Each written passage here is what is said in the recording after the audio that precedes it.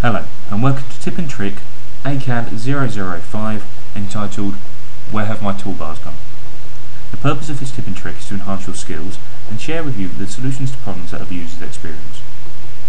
Our tips and tricks are created from the top 30 support calls logged with our support desk. And if you require any more information on our support desk, then please feel free to contact customer services on 01784 419911 or email customer.services at cadline.co.uk. All of our tips and tricks can also be found on our website at www.cadline.co.uk and please remember that we're also issuing tips and tricks for all of the other Autodesk products as well as the one you're about to watch. Now one of the most common questions that I get asked personally for people that have just upgraded to AutoCAD 2009 is I don't like the new interface, I don't like the ribbons, can I please have it the way that I used to have it? So first of all I try to explain the bonuses and the benefits of having the ribbons as explained in a previous session. However, if they really don't like it, I can always show them how to get it back to how they previously liked it. Now this is quite simple, we use the AutoCAD workspace settings.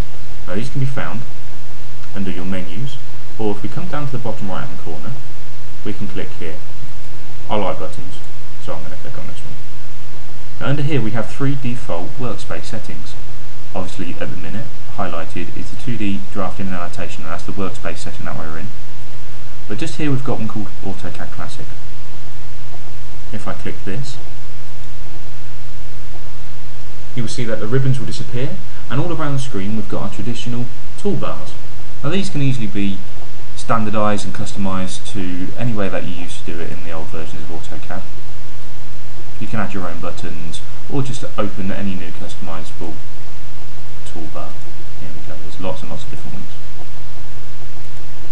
Okay, so if you really don't like the ribbons, then please feel free to change it to the way that it used to be. Thank you very much, I hope this session helps. Look forward to talking to you again. Thank you, bye bye.